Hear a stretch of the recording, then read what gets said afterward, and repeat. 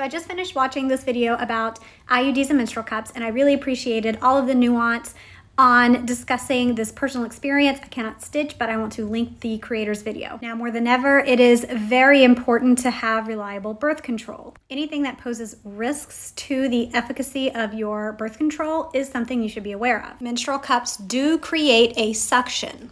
Another alternative product is the menstrual disc. It is similar, but it does not create a suction. So when you remove it, you can simply pull it out. And at least two studies exist that link a higher rate of expulsion to menstrual cups. You still want to use your menstrual cup, just know your risks and of course be extremely careful in breaking your seal. And with any internal product, you want to be aware of your strings so that you don't accidentally grab them, whether you're removing a cup or a disc or even a tampon. You can ask for your strings to be cut much shorter so that reduces your risk.